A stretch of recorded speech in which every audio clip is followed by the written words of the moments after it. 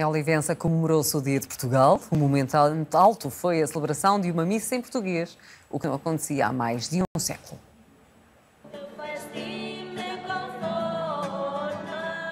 Afina-se o coro em português na Igreja da Madalena, em Olivença, porque hoje se celebra o Dia de Portugal.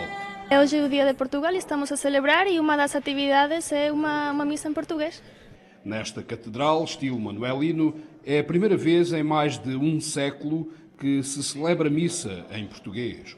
Parece ser que a última missa, que, ou parte da missa, de ser o sermão do padre, foi em 1840, quando se proibiu a língua portuguesa nas igrejas, pelo menos é o que consta, é o que se diz, não é? Portanto, esta é realmente a primeira missa na íntegra na língua portuguesa em Olivença, eh, hoje 10 de junho de 2017. Y creo que es una manera de, de hermanar lazos que ya de por sí están presentes y que hay pues una verdadera armonía y sintonía entre esta zona española e a zona portuguesa. Dirigir também uma palavra para todos aqueles que compreendem ou não compreendem aquilo que eu estou a dizer.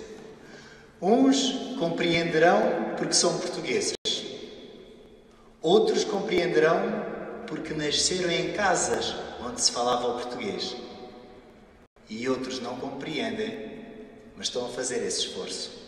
Uma missa diferente que orgulha também os oliventinos. O oliventino eh, tem o coração partilhado entre Espanha e Portugal. Portugal é sua história, também seu futuro, é a tradição, é a língua, é, é tudo. E, e aqui neste caso, pues, também a religião. Todos as, o padroeiro de Olivença, o Senhor dos Passos, tudo tudo o que há neste templo, nesta nesta cultura religiosa é, é de origem portuguesa.